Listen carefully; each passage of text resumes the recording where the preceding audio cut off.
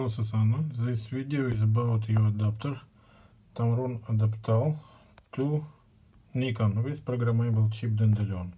Now I check chip with adapter on my camera.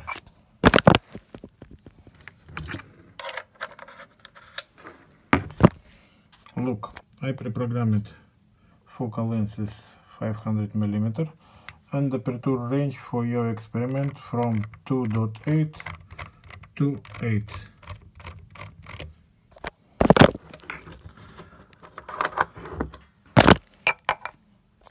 Be very careful with chip and chip will work long long time.